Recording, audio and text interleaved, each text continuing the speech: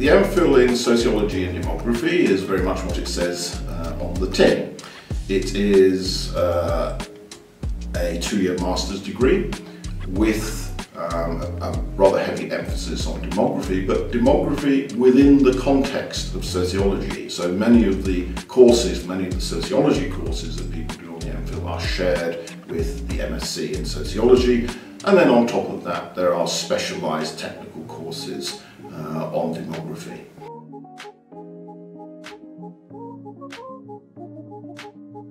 The structure of the MPhil um, it has um, quite a lot of different components. Some of these relate to the sociological side of the course, others to the demographic side. Relating to the sociological side, we have the course in sociological analysis, which is a kind of introduction to, a sort of thematic introduction uh, to major theoretical and empirical issues, contemporary issues in, in, in sociology. Um, we then have a core of research methods, which for the uh, for the MPhil in, in sociology and demography basically consists of statistics uh, and research design. Um, we have then specialised courses in, um, in demography. There is a course in demographic analysis which teaches the, the main or principal uh, technical techniques uh, of demography. There is a course in uh, life course research, which um, which looks at demographic issues from, surprise, surprise, a life course perspective. Um, a very interesting and important feature of the MPhil is the replication project. Um, what we do in that is we try to get people to take a piece of published research uh, and then go back to the original sources, in some, in some cases contact the original investigators, and try to reproduce with the original data exactly what uh, has been done before.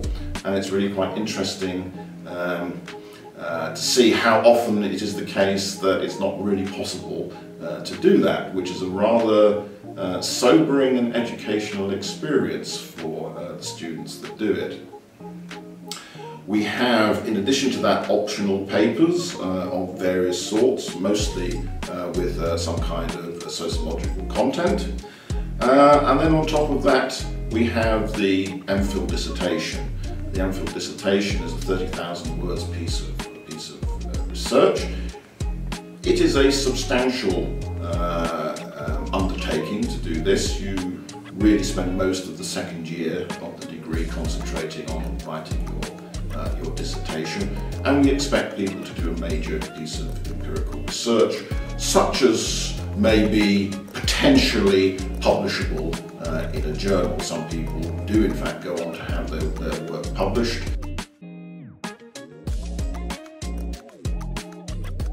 Um, well, one extremely obvious thing is, I think I'm right in saying, is it's, it is the only course in the country uh, which combines sociology and demography. Uh, so that is pretty, pretty unique. Um, demography tends to be a subject which is historically has been combined with other subjects like geography, for example, or statistics or something like that. And I think we're, we're certainly unique in this, this country, I wouldn't necessarily say in the, in the whole world, but certainly in this country in putting these two together. Our department is very quantitative, so um, we're not just um, you know focusing on uh, you know theory and uh, things of that sort, but we also are taught how to create models to prove um, on a large scale with a large set of data, uh, whatever it is that we're trying to um, explain. So I think that that's an invaluable source of um, learning. I think the unique thing about the department um, is actually that it is incredibly cosmopolitan and diverse. We have literally people from all over the, all over the world, both on the faculty uh, and also among uh, the student body. It's really like a, a little United Nations here. Um, so you could say that we have a kind of international perspective uh, on sociology rather than, than just a UK-based perspective. I think one of the things that's great about this department is going to be, you know, when you're here on a taught course, you're going to be taught by um, a range of amazing people who do really interesting research and use a really you know, fascinating set of different research methods. Um, and so yeah, I think you'll get a really interesting range of viewpoints and different uh, fields of expertise.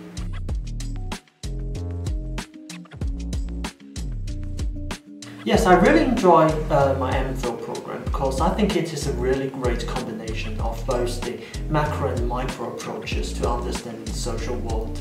We have modules like demographic analysis that focus on the uh, micro aspect to discovering uh, empirical regularities in the world, but at the same time we also have uh, courses like uh, life course research that focus on the micro perspective that we understand the causes and mechanisms behind those regularities.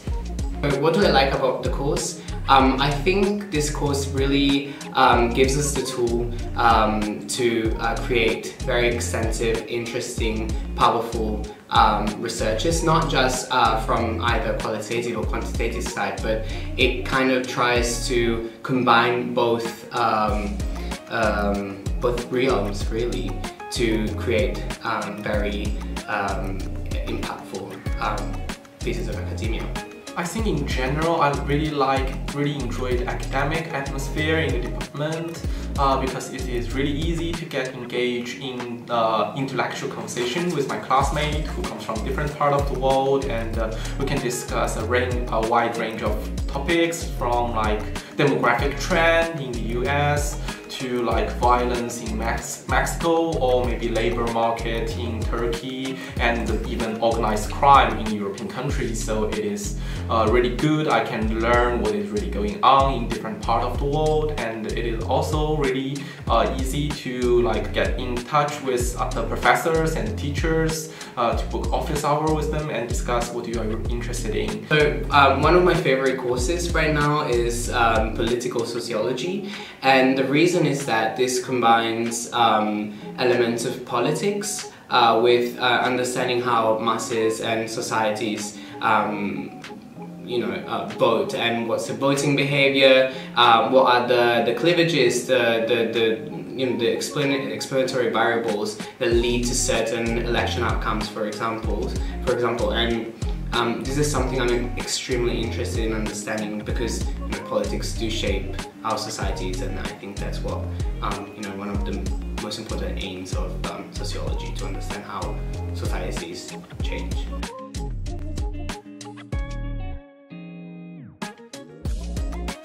I think uh, I really like like there's a lot of libraries in Oxford, so like during the term time, if you want to find a quiet space to study, then it is really convenient. And if you want to uh, relax, there's a lot of like uh, music event in Sheldonian Theatre or like choir in different colleges and uh, there's also Port Meadow where there's wild animals and beautiful environment you can enjoy. So yeah, it's, it's very good and there's uh, uh, outside the department there's also many seminar series and lecture series given by those world leading experts. Uh, basically, the feeling is that you are living in the center of the world of knowledge. Yeah. Uh, it's very convenient to go around. You have so many cute shops, so many pubs, they all crowd together. Um, there are so many libraries, so if you, you know, um, a person who really thrives in libraries and really gets um, you know, their mood up for studying in different sorts of libraries. You have so much variety in Oxford. Oxford is a really lovely city to study and live in. I live in my college and I really enjoy the collegiate system here at Oxford.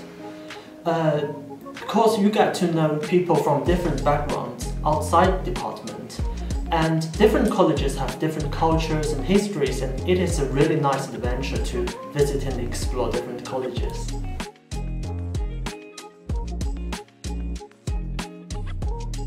A student in our department would do well if they come in with uh, a question or an idea about a sociological mechanism or process. So tell us what you're interested in, tell us what you would like to know. Um, in the world of sociology? I think first of all you have to be relatively open-minded and then you have to be curious about empirical issues. In other words, you have to be really motivated by questions where, in principle, we can collect evidence or data, either qualitative evidence or quantitative uh, evidence, which will help you answer some kind of specific empirical question. I think the most important thing is finding a an interesting question you really want to explore and just like let the curiosity perhaps like guide you where to go. Yeah. I think um, one of the things that um, I say a lot to my students when I'm sort of talking about what makes a good essay or what I'm looking for in a brilliant student is this idea of being analytical. So I think you know anyone can do really well on this course if you are very analytical. And the kind of things that I mean by that, you know, is um, thinking through very carefully uh, your sociological explanation, while you're writing, you might want to think about alternative explanations and be ready with a counter argument. We're looking for explanations that will account for the existing body of evidence, for example, you know, how do the theory and the evidence come together? And uh, good explanations are usually quite complex, so you know, be willing to sort of dig deep and get into the complexities of things. Uh, I would advise prospective students to be clear and specific about their research question. I know it is important to demonstrate your academic skills and relevant experience, but it is equally important to have a very clear mind about your research questions. You can possibly think of uh, why this is an important area to, to be studied and what potential methodologies can be applied and have you thought about uh, any data collection issue. And I think having such a clear mind about research questions can really make your personal statement more concrete and convincing. Be open-minded enough to um, change your idea as you are doing your degree that you don't need to stick with your initial idea.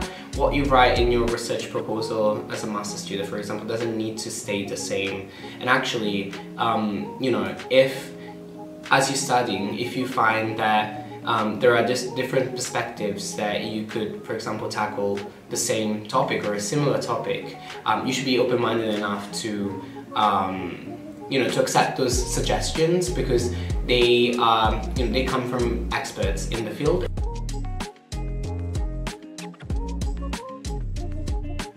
The short answer is very many different things. Obviously, quite a large proportion carry on uh, to doing a research degree either in this department or in other departments.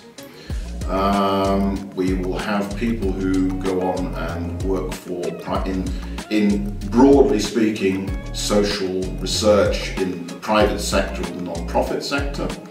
Um, we'll have people who go on and uh, um, work as consultants of, of, various sorts, join the civil service. Um, Actually, there's probably hardly anything that someone hasn't done.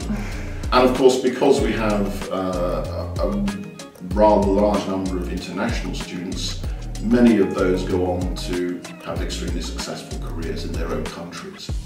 I think I will continue with the field of PhD studies and I'm interested in the uh, recent mortality trend in the US and uh, and I think the death of despair narrative, which is debatable, I guess, and I'm also interested in the fertility rate decline in most developed countries, so I will try to explore the social behavior and the biological mechanisms behind these demographic patterns. Yeah, I would uh, possibly pursue a DPhil after finish my MPhil program. Uh, my current study experience here at Oxford really strengthens my interest in the field of demography. And the department is a really vibrant community with many world-leading scholars and I really look forward to continuing working and studying from them.